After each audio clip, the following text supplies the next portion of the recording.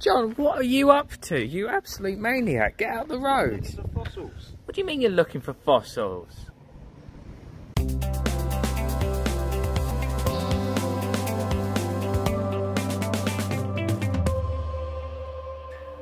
Recently, we tried to print some bone-like models and really try and achieve that realistic effect.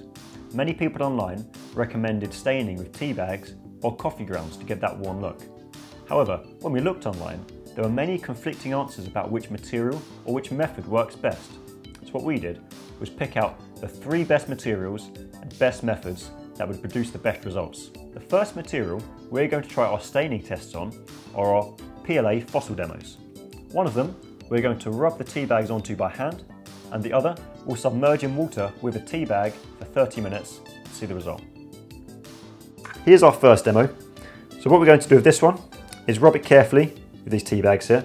They're quite dry at the moment, so what I'm going to do is just dip it in the little mug of water we got here. To make sure it's nice and damp. Give it a little squeeze just so you're not getting water everywhere. And what we're going to do is softly and repeatedly rub it onto the surface of the model and try and cover as much surface area as possible.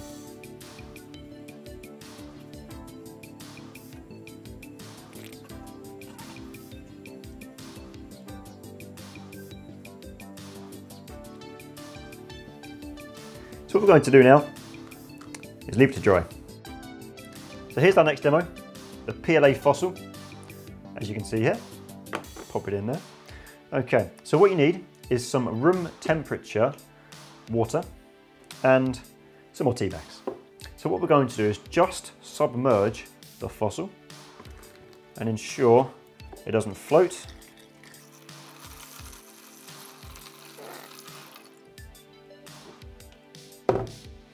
Okay, so what I want to do is hold it down, just make sure all the air has left the model so it can stay under the water.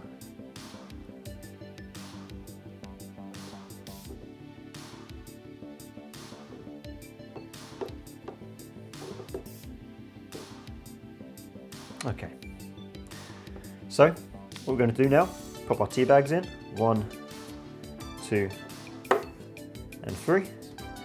I'll give it a little swish about just make sure that tea spreads in there wherever you see it happening. Maybe give them a little bit of a massage. Make sure it's going in there.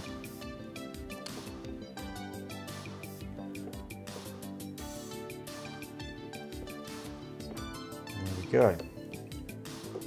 Okay, so what we're going to do now is leave it 30 minutes, come back later and see the results.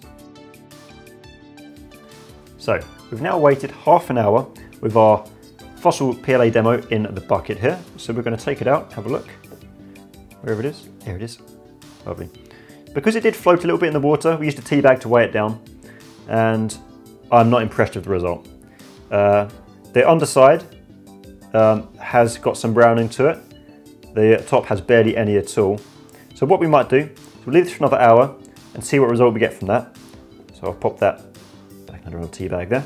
The water is looking a bit darker than earlier, which is promising. So now let's look at the one we rubbed down.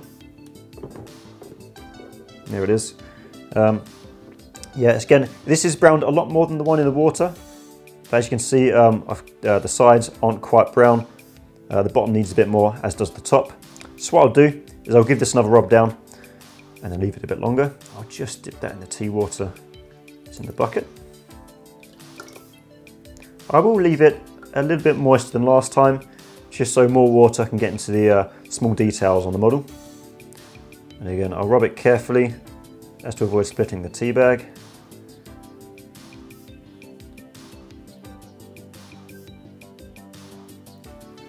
I'm uh, doing a dabbing motion now. That seems to spread out more water on the model. Make sure it's fairly well covered. I'll give it another quick out in the water.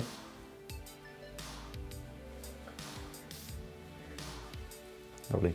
We're looking a bit darker now on the top, so what we'll do is I'll leave that to dry for a bit longer, just on the side outside.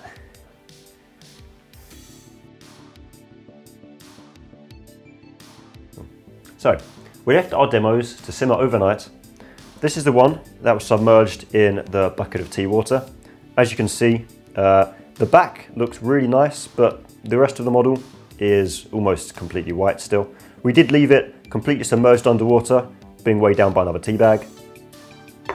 And this one is the one we rubbed with tea bags. It's got a, uh, a much better result come out of it. You can still uh, see lots of uh, brown on the edge and on the bottom. So we're going to be using the rubbing method for our ABS and our PETG.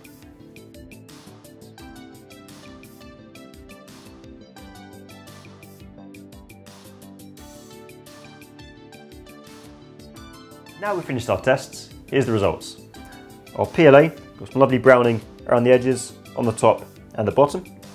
Our ABS uh, absorbed the tea staining quite well, giving it quite a, quite a good look.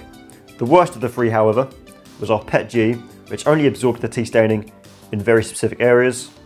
Now obviously, you can keep going over the models with the tea bags and let them dry and then keep going again to get stronger and stronger results.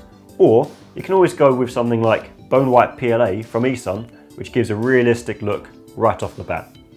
So, if you enjoyed this video, feel free to leave a like. Also, if you're going to try this out yourself, feel, to, uh, feel free to leave a comment on your experiences of trying this method. Don't forget to like, subscribe, we'll see you next time. If you would like to use these specific materials, the links are in the description for both 1.75mm and 2.85mm.